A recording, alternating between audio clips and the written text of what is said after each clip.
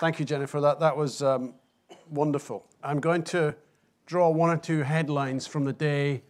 Um, and obviously, I've had to rewrite a few, um, just as you did at lunchtime. but some of the things, there was this element that, the, although we're academicians and some of the people in the room are even academics too, we're not dealing with growth that's abstract. This is trying, so although, although there's a concept of the arc uh, as a broad spatial phenomenon, it's not actually a planning construct, but we are having to deal with real growth. And that's a huge scale of growth, just as we've seen from the other exemplars in um, what we've heard from Toronto and, and, Rotterdam, but it's a huge scale here in the communities all across this part of the um, south central or, or however we want to describe this, this part of England it's not just about architecture and design, but that is important. The feeling was in, in the presentations that's integral, it's a key building block, but it's also about the green and blue networks as well, both at an intricate local level, but also the strategic networks uh, of green and blue critical coming through this morning was the role of innovation, and we saw a lot uh, uh, uh of the examples from Rotterdam in particular, but not only that, it crept into the afternoon too, the diversity of tenure and, and the importance of improving environmental performance. We, we heard um, about the Julia in particular cited the depletion of planning resources as a problem. The system isn't right. The skills, the capability, the level, the confidence, um, and even the leverage and power of those in the system isn't what it used to be and isn't necessarily de delivering the results we need. Livability uh, was cited by Noah and, and others later for a whole range of people, understanding the people, the demographics, uh, families, places for young people to play, for instance, the, this informality and, and, and, and uh, family space, but also places uh, that worked, buildings and spaces for older people, including those who may be affected by dementia there was a tension and a debate throughout the day. It continued into the afternoon about rules and certainty that they provide uh, versus discretion and flexibility and, and, and what that may allow, but also sometimes what it may unpick versus the idea of, we heard uh, of a simple code.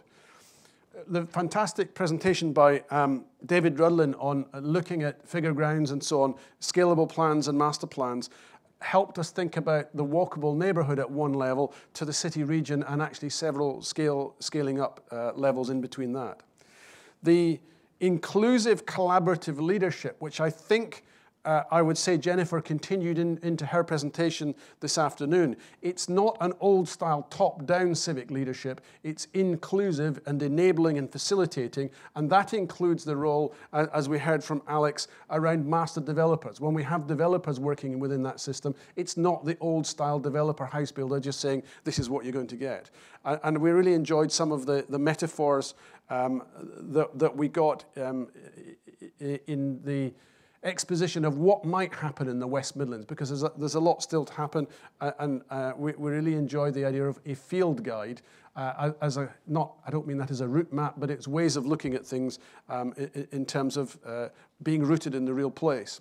This afternoon, we were reminded that we've actually got to accommodate the equivalent of eight times Milton Keynes, which is already fairly substantial in this part of the world, and that we can't do it just by developers or allocations in the old style of large development opportunities by the Development Corporation. We need to include co-design, uh, community-led design, co-production, and the psychological as well as the physical and financial investment in place. So again, that seemed to be a big issue that, that was uh, repeated in Jennifer's presentation.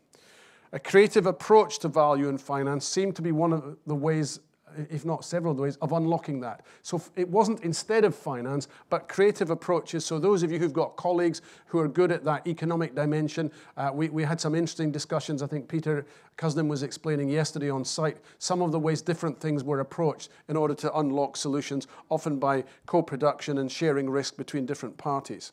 So really what we're dealing is something that, that has to address the change in climate situation, aim for uh, zero carbon. That's the new benchmark, the new normal that's being aimed for.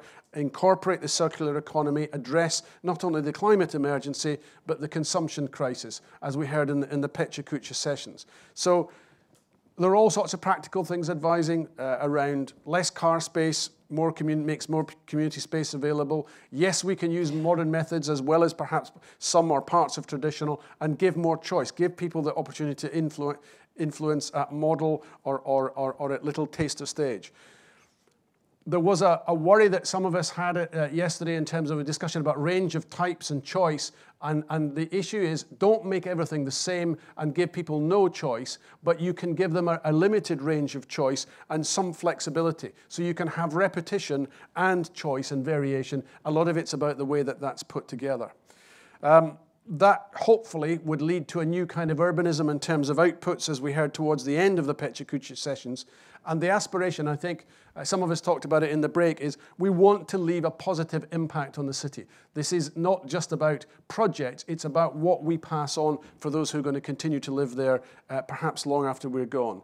And uh, uh, towards the end, I interpreted from that that their sustainability guidance could be used, and maybe even we should be looking. I think Derek suggested it to me in the break for some kind of joint statement about what our aspiration level should be.